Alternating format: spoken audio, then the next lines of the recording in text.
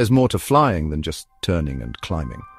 The real chaos begins when we mess with the airflow. Secondary flight controls, flaps, slats, spoilers, and trim are the aircraft's emotional support system. They don't steer the plane. They control how angry the wings get. Flaps extend backwards to increase lift and drag, like rolling your sleeves up to grab more air. Slats extend forward to smooth the airflow and stop the wings from stalling. Basically wing Xanax. Spoilers, they're the reverse UNO card, pop them up, and lift dies instantly. Trim, that's the therapist.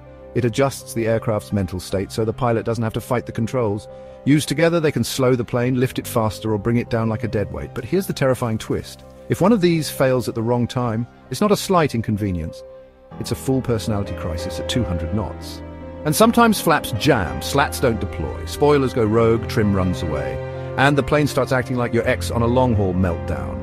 Comment flap mode if you've ever tried to control your emotions with surface-level fixes. Follow the cockpit king for aviation's darkest truths.